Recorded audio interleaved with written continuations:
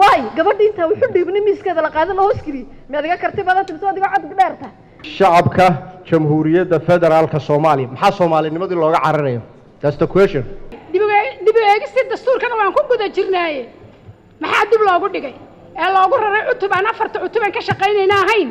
Oo cutubka shanaad la yidhaha maxaa dib loogu dhigay xildhibaanada labada aqal ee baarlamaanka soomaaliya ayaa maanta oo arbaca waxay si rasmi ah u bilaabeen dooda wax kabeddelka dastuurka oo ah soo jeedinta guddiga dib u eegista iyo la socodka dastuurka ee labada aqal ee baarlamaanka soomaaliya oo ay weheliyaan guddiga madaxa bannaan ee dastuurka.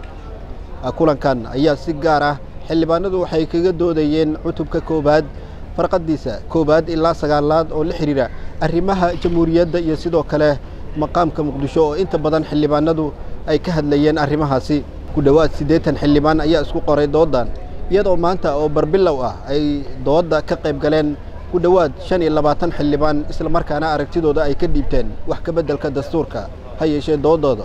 Waxay u dhacday sida tan. Waniyo waxaa rabaa annaga hadda maadaama dastuurkii la furay laba maado labadaba.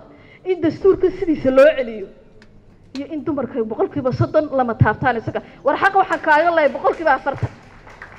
Boqol kiiba afartan baan xaq u lahay boqol kiiba konton baan xaq u lahay waxba ima dheerin laakiin halkana waxa doono kaa qoraya. Waay gabadha intaa wuxuu dhiibnay miiskeeda la qaada la hoos geliye mi adiga karti badan timso adiga cod dheerta. Ma yeelayo qodobkan waa in boqol kiiba soddon lagu soo qeexa. Haddaan lagu soo qeexaynin buugga waa la qaadayaa halkii laga keenaa la celinayaa. Dalkan dastuurka male madaxweynaha jamhuuriyadda federaalka xasan sheekh maxamuud baarlamaan male qof kastoo soomaaliya leeyahay sidaasi darteed waxaan soo jeedinayaa in laga daayo.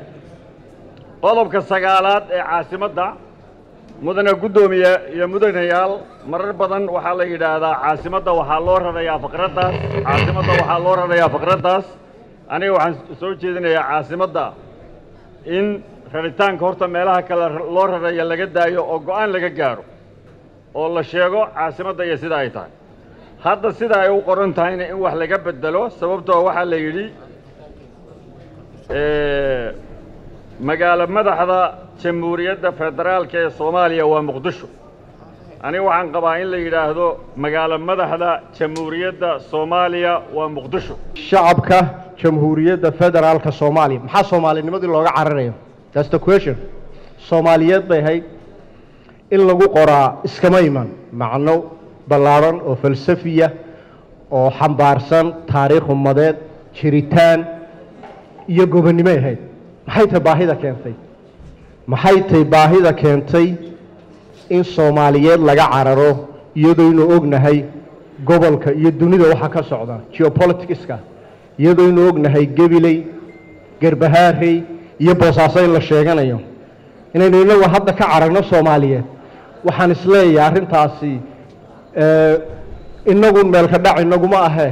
Waa lumin maadaama dastuurkii la furay waxaa idhiba erig four point five. Hadda wax sheegaayo ma lehe guddiga su'aal waxaa iga eh. Dastuurka waa la furay haddii xal markii hore dastuur cusub aa yimid ma ma four point five kayaa socdo mase shanta beelood wax ku qaybsanaynay wax ka hadloowo male su'aashaas waxaan weydiinayaa dastuurka. Hadday ku qoran tahay kitaabkan culimmadaa fadhiso five. Meeshaan five ka noqon oo ka soo gelayna culimmadu waxaan ka rabaa iyana su'aasha inayna siiso. Soomaaliya waa dad islaam diinta islaamku waa diinta dalka dadka iyo dowladda haddaan dowladdoo keliya lagu koobaynoo sideedii hore ah haddii kale waxaa iman doonta dowlad tidhaahda diinta dee dalkaa lehe dee dadka dalka ku dhaqan oo cibaadaysta laakiin secular government ah oo cilmaani ah oo marka dastuurkeennana uu sii xoogaystay dowladnimada xoogaysataba sharcigu waa xoogaysanaya marka muran sharci baa imanaya si aan taa meesha uga saarno diinta dalka dadka iyo dowladda ayaa uu islaamku yahay. Baa wada koobi lahayd baan odhan lahaa qodobka saddexaad anigu cadaaladda bulshada waxaan idin odhan lahaa ha ka saarina. Soomaaliya waxaa halkaa kala geeyey cadaalad. Cadaaladda bulshaduna macnayo fara badan bay ku fadhidaa. Dib u eegistii dastuurkana waan ku guda jirnaaye. Maxaa dib loogu dhigay? Ee loogu raray cutub aan afarta cutub aan ka shaqaynayna ahayn? Oo cutubka shanaad la yidhaha maxaa dib loogu dhigay? Ilma adeerayaalo waxaa la yidhi habeenkii sacabka laba tumo haddaan xeeladi ku jirin. Waa in la caddeeyaa sababta loogu dhigay dib saddex milyan afar milyan oo soomaaliyeed. Xuquuqdooda in mar walba la duudsiiyo. Ilaa baarlamaankan sagaalaadan ku soo jiray ilaa kii tobnaad ilaa kan koob iyo tobnaad. Soomaaliya laynaga yeeli maayo. Guddigow dib iskugu noqda. Doodan laga doodaya afarta cutuba cutubkeeda ay ku jirto. Ha lagu soo daro maqaanka muqdisho iyo ka hadalkiisa maxaa gadaal loogu dhigayaa caasimadda muqdisho waxaan aaminsanahay inay naga istahasho mowqifkeeda in la caddeeyo matalaadeedana la caddeeyo. Doodda wax ka beddelka dastuurka ayaa waxaa horay uga soo horjeestay mas'uuliyiin xilal uga soo qabtay dalka oo ay ka mid yihiin shariif sheekh axmed maxamed cabdulaahi farmaajo xasan cali kheerre cumar cabdirashiid cali sharmaake iyo mas'uuliyiin kale kuwaas oo ay ku doodayeen in la furo galka la xidhiira wax ka beddelka dastuurka. Cabduqaadir maxamed c b a xarunta golaha shacabka muqdisho. Kani waa bremiyer walad lacag ugu dir saaxiibkaaga. Ugu adeego meel kasta. Ku bixi biilasha. U dir hana lagaaga soo diro meel walba. Ka maamulo akoonkaaga iyo kaarkaaga bremiyer bank.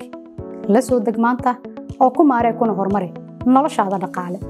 Bremiyer walad